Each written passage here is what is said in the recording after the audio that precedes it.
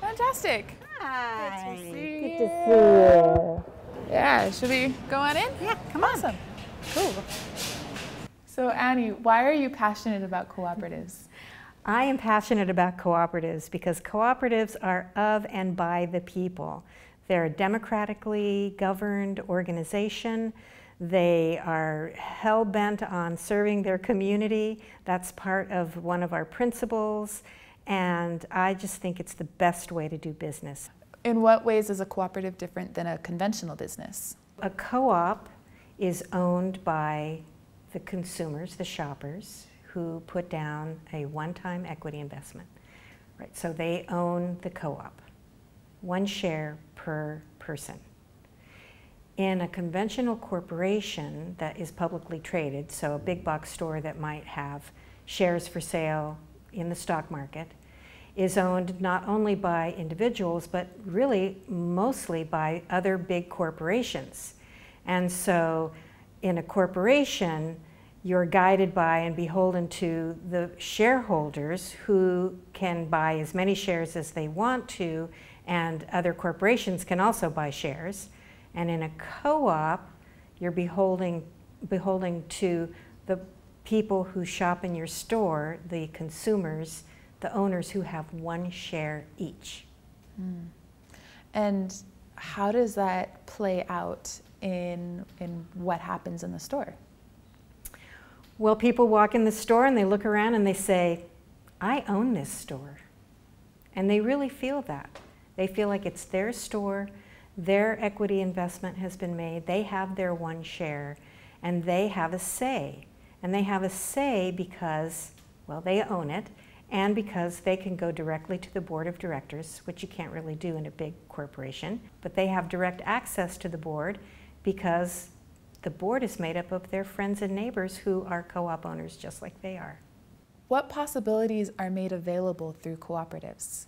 If more businesses were owned by the people who use its services, then you would have more democratically governed organizations around and it would enhance your community because it gives power to the people.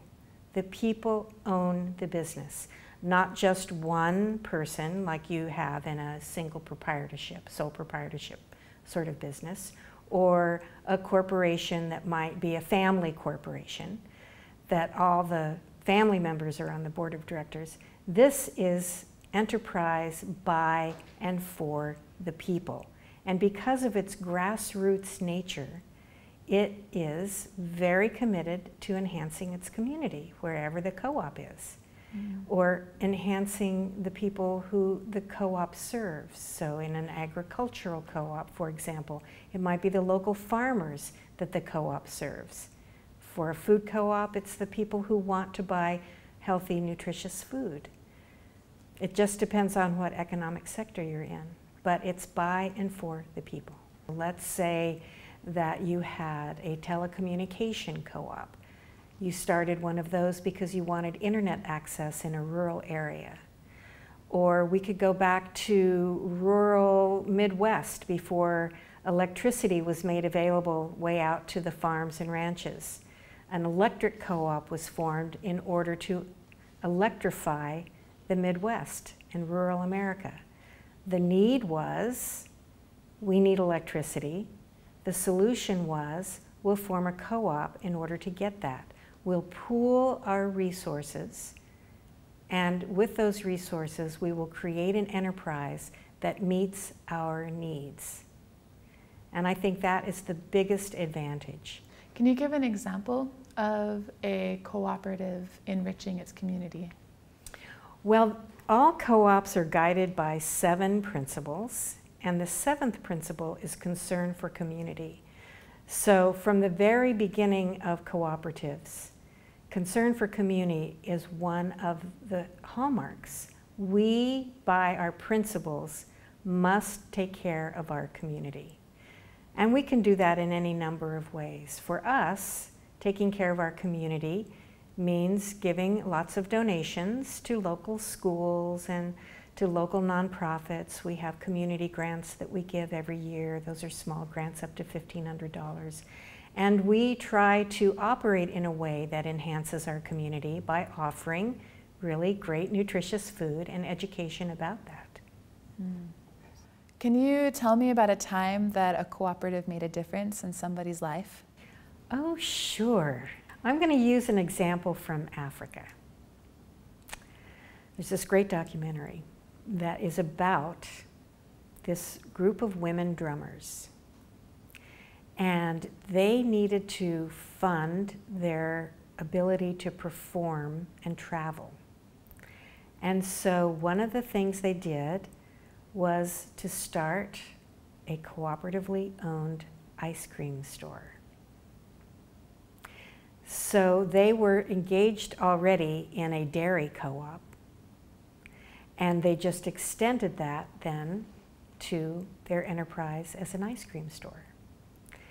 And so they bought the ice cream store, then bought the dairy, the cooperative dairies milk to be made into ice cream. And developers of an ice cream store, a co-op ice cream store in New York City, advised them about how to be a worker-owned cooperative and how to purchase from the dairy cooperative and how to make ice cream, which they didn't know anything about.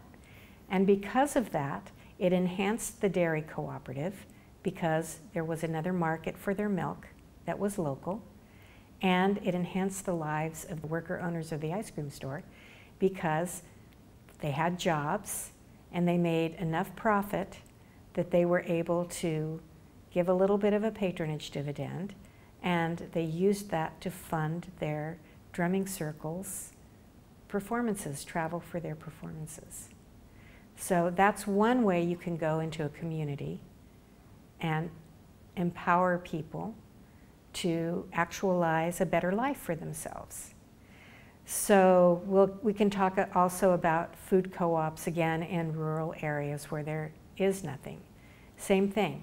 You have to bring your community together in order to start a co-op.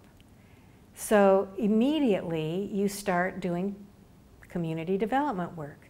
You get to know your neighbors. You get to know the various needs that your community has.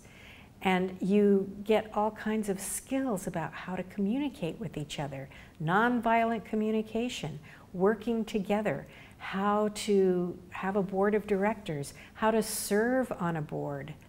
All of these skills are really important for community enhancement and you empower people to grow as individuals because they recognize that they have individual power. And when people with individual power join together, they're stronger together. And that makes your community stronger. And also, look, we've got Road And Rainbow Chard. And, um, yeah, it's all really cool. Yeah, there's a child mix again. Yeah. Uh -huh. Yeah. Cleanest meat in town. You know that they're local because we have these special signs for Rogue Valley grown produce. Oh, the blue one.